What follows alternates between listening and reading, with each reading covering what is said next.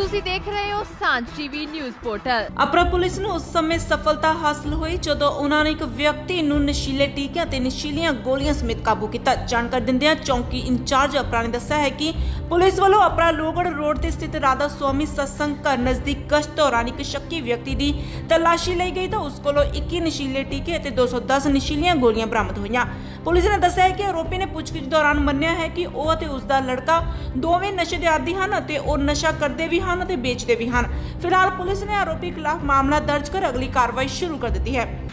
ਅੱਜ ਮੈਂ Sukhdev Singh sub inspector incharge ਚੌਂਕੀ ਅਪਰਾ ਸਮੇਤ ਮੇਰੀ ਪੁਲਿਸ ਪਾਰਟੀ, ਜਿਸ ਵਿੱਚ ਹੈੱਡ ਕਾਂਸਟੇਬਲ ਹਰਜੀਤ ਸਿੰਘ ਤੇ ਹੈੱਡ ਕਾਂਸਟੇਬਲ ਮਹਿੰਦਰ ਸਿੰਘ ਅਤੇ ਹੋਰ ਕਰਮਚਾਰੀ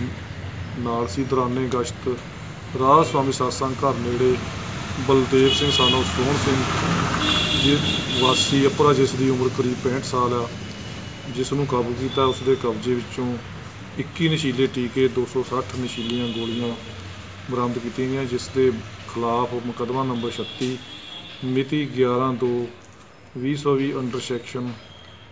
2285 ਐਨਡੀਪੀਐਸ ਐਕਟ ਥਾਣਾ ਫਲੋਰ ਦਰਜ ਕਰਕੇ ਇਸ ਨੂੰ ਗ੍ਰਿਫਤਾਰ ਕਰ ਲਿਆ ਗਿਆ।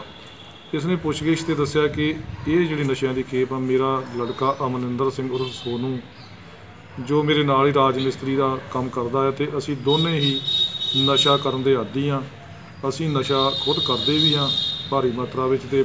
ਇਹ ਅਸੀਂ ਵੇਚ ਕੇ ਪੈਸੇ ਵੀ ਬਣਾਉਂਦੇ ਆ ਤੇ ਅੱਗੋਂ ਹੀ ਸਪਲਾਈ ਕਰਦੇ ਆ ਇਸ ਕੋਲ ਹੋਰ ਪੁੱਛਗਿੱਛ ਜਾਰੀ ਆ ਕਿ ਇਹ ਅੱਗੋਂ ਕਿੱਥੋਂ ਲੈ ਕੇ ਆਉਂਦੇ ਆ ਤੇ ਇਸ ਲੜਕੇ ਨੂੰ ਫੜਨ ਵਾਸਤੇ ਵੀ ਮੈਂ ਟੀਮ ਭੇਜੀ ਹੋਈ ਆ ਉਹਨੂੰ ਜਲਦੀ ਗ੍ਰਿਫਤਾਰ ਕਰਕੇ ਅਗਲੀ ਕਾਰਵਾਈ ਅਮਲ ਵਿੱਚ ਲਿਆਂਦੀ ਅਪਰਾ ਤੋਂ ਨਿਰਮਲ ਗੁੜਾ ਦੀ ਰਿਪੋਰਟ। ਨਵੀਆਂ ਤੇ ਤਾਜ਼ਾ ਖਬਰਾਂ ਸਭ ਤੋਂ ਪਹਿਲਾਂ ਦੇਖਣ ਲਈ ਸਾਡਾ YouTube ਚੈਨਲ ਲਾਈਕ ਤੇ ਸਬਸਕ੍ਰਾਈਬ ਕਰੋ ਸਾਂਝ ਟੀਵੀ ਅਤੇ ਨਾਲ ਹੀ ਦਬਾਓ ਘੰਟੀ ਦਾ ਬਟਨ।